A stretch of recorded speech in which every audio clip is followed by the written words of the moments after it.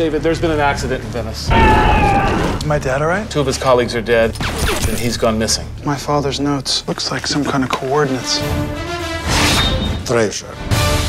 You bring us the treasure. David! Or you never go see her again. He's got a gun! Where is she?